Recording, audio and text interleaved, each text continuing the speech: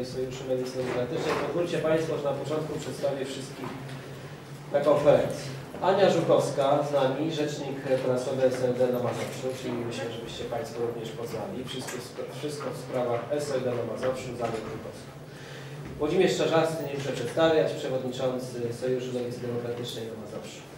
Sekretarz generalny Krzysztof Gawkowski i Grzegorz Pietruczuk, e, szef klubu radnych SLD w naszym sejmiku województwa mazowieckiego. Szanowni Państwo, dziś nietypowo o marszałku Struziku i rozpocznie Włodzimierz Czarzasty. Bardzo proszę. Witam serdecznie. Rozpocznę krótko, dlatego że e, powiem, co się stało. Stało się tak, że zebraliśmy Radę Mazowiecką Sojuszu Lewicy Demokratycznej, największą organizację SLD w Polsce, 6,5 tysiąca członków, tak nawiasem, i dokonaliśmy oceny półrocza kadencji tej w Sejmiku Samorządowym oraz poprzedniej kadencji. Chciałem Państwu powiedzieć, że doszliśmy do wniosku następującego. Dosyć łobuzerki marszałka Struzika na Mazowszu.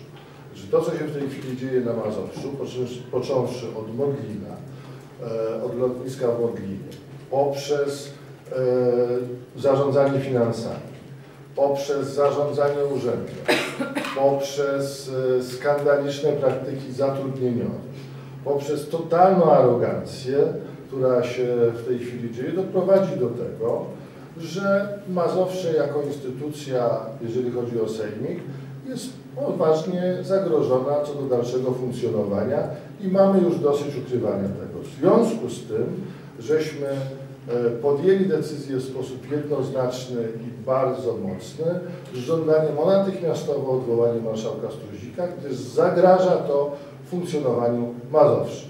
Grzegorz Pietruszuk, który jest szefem radnych na Mazowszu i niewątpliwie zna się ode mnie e, na samorządzie mazowieckim tysiąc razy lepiej, przedstawi Państwu argumenty, dlaczego żeśmy to zrobili. Jacek. Grzegorz Pietruczuk, bardzo proszę. Dziękuję bardzo. E, Szanowni Państwo, przedstawimy bardzo krótką prezentację. E, Dlaczego chcemy doprowadzić do o, ustąpienia Pana Marszałka Struzika i dlaczego ta propozycja, e, z którą wychodzimy jako Rada Mazowiecka, czyli konstruktywnego wotum e, dla Marszałka, czyli to, żeby Platforma z PSL-em kandydata na Marszałka ze swojego grona. E, To są długi województwa mazowieckiego. Miliard 600 milionów ponad na chwilę obecną, 80 milionów odsetek. E, Rating województwa mazowieckiego, jak i kolei mazowieckie są obniżone pod koniec zeszłego roku. Po raz kolejny wiąże się to z dodatkowymi kosztami dla e, podatników, ponieważ my musimy e, płacić dodatkowo wyższe odsetki za niekompetencje. Teraz jeśli chodzi o nowe zobowiązania, w- tym miesiącu Zarząd Województwa wydał zgodę na zaciągnięcie nowych zobowiązań w wysokości 416 milionów na bieżące funkcjonowanie niektórych jednostek Sejmiku. E, Mamy tutaj wszystkie praktycznie jednostki, od szpitali przez biblioteki i nawet Urząd Pracy musi zapożyczać się po raz kolejny, co wiąże się z tym, że te długi po prostu kiedyś trzeba będzie spłacić, a na chwilę obecną my spłacamy tylko odsetki jakoś Sejmik Województwa Mazowieckiego i nikt nie, nie chce nam powiedzieć, jak będzie dalej z finansami. E, Służba Zdrowia na Mazowszu. To, to jest czysta katastrofa.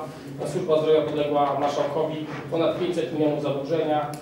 Pomysł jest jeden, skomercjalizować za wszelką cenę jak najwięcej spółek e, czy szpitali, które są ze służbą zdrowia i też trwają prace nad sprzedażą części majątku niektórych e, jednostek e, po to, żeby uzyskać po prostu na bieżąco pokrycie na ich działalność. To nie jest żaden projekt finansowy, to jest tylko i wyłącznie ratowanie bieżącej sytuacji. Kolejna sprawa to jest znane Modeling Gate. To nie jest tylko kwestia tego, co się dzieje na pasie startowym, drobnego bałaganu, chaosu e, i wręcz skandalicznej niekompetencji połączonej z głupotą, E, ale to też jest to, że nie ma systemu ILS. Nawet jeśli pas startowy będzie naprawiony, samoloty nadal nie będą mogły przy złej pogodzie e, startować i lądować z tego lotniska, a zła pogoda w Modlinie to jest kilkadziesiąt dni w roku, kiedy jest tam mgła. Jeśli chodzi o następną sprawę, to są straty generowane ponad 200 tysięcy dziennie przez port lotniczy. E, My zwracaliśmy się uwagę o dymisję zarządu portu lotniczego, e, żeby zachował się honorowo, o dymisję pana marszałka. Niestety e, wszyscy udają, że Polacy nic się nie stało. My uważamy, że się jednak stało. A ostatnim elementem tej całej e, farsy inwestycyjnej jest budowa łącznika kolejowego, na który z Unii Europejskiej jest przeznaczone 106 milionów dofinansowania i na dzień dzisiejszy nawet nie ma decyzji lokalizacyjnej co do tej budowy, a pieniądze muszą być wydane do końca 2014 roku.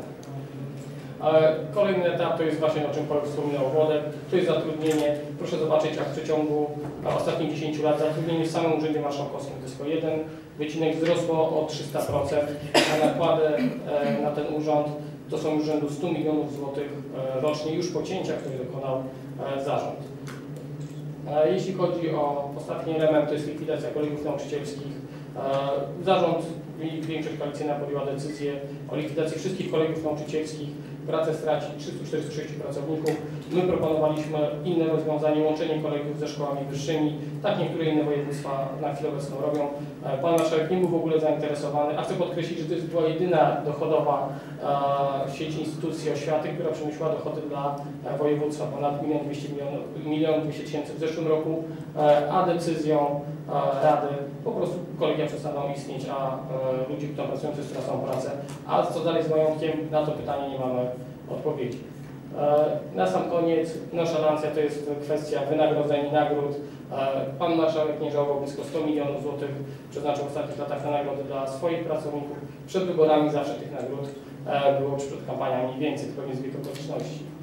A to jest właśnie podejście pana marszałka do środków publicznych.